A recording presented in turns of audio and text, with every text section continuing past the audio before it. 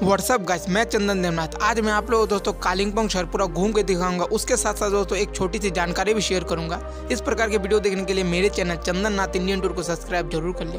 तो चलिए दोस्तों वीडियो को शुरू करते हैं। ऐसा आपको पता ही होगा दोस्तों कालिंगपोंग जिला पहले सिक्किम राज्य का हिस्सा हुआ करता था। उसके बाद दोस्तों ये दार्जिलिंग जिला में आया। आने के बाद दोस्तों 21 फरवरी 2014 को दार्जिलिंग जिला से अलग करके एक नए ज़िले के रूप में विस्थापित कर दिया गया।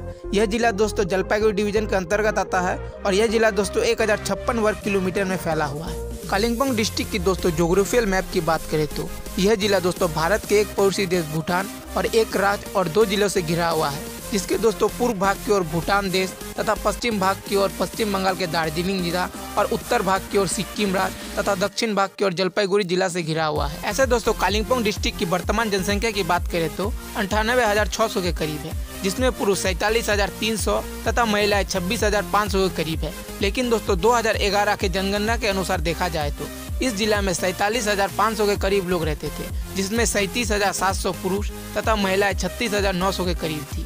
और इस ज़िले के लिंग अनुपात की बात करें तो आठ है। यानी कि हर एक हज़ार पुरुष के लिए इस जिला में आठ महिलाएँ उपस्थित है, जो कि दोस्तों पश्चिम बंगाल के अन्य जिलों से काफ़ी ठीक ठाक है।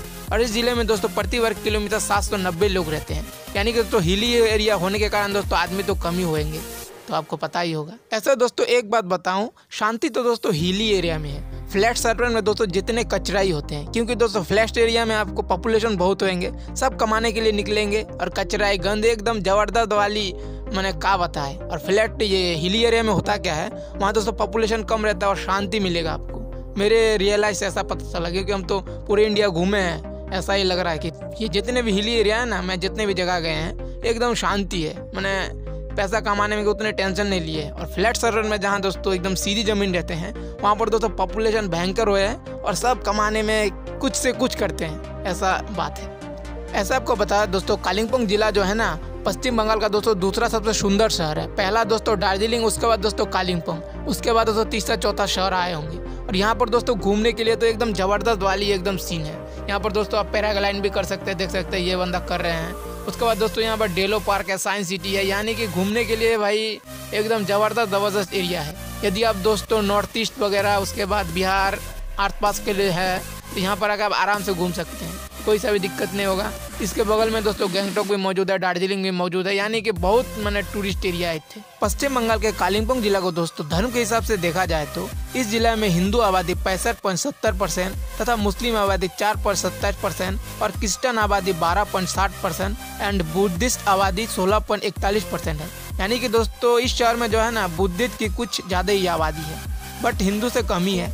कालिम्पोंग डिस्ट्रिक्ट को दोस्तों, आगमन की दृष्टि से देखा जाए तो इस शहर में दोस्तों रोड मार्ग ही मौजूद है। यहाँ पर दोस्तों आने के लिए आपको रेल मार्ग और बायो मार्ग की कोई सुविधा नहीं है। एक दोस्तों हेलीपैड है जहाँ पर हेलीकॉप्टर उतरता है, वो अपना लेके आते हैं तब। और दोस्तों, कालिम्पोंग जिला की गाड़ी पंजीकरण संख्या की बात करें तो डब्ल्यू बी अठहत्तर है। यदि आपको दोस्तों रोड में डब्ल्यू बी अठहत्तर गाड़ी देखने को मिल जाए, समझ जाइएगा ये दोस्तों कालिम्पोंग डिस्ट्रिक्ट की है। और इस जिला से दोस्तों राज्य राजमार्ग संख्या बारह और राष्ट्रीय राजमार्ग संख्या सत्रह, सात सौ सत्रह ए दस और सात सौ दस गुजरती है, जिसके माध्यम से दोस्तों कालिम्पोंग जिला आप आ सकते हैं। कालिम्पोंग जिला की दोस्तों नदी की बात करें तो यहाँ पर दोस्तों बहुत सारे नदी है। हिली एरिया होने के कारण दोस्तों इधर से छोटे बड़े नदी आते ही रहते हैं।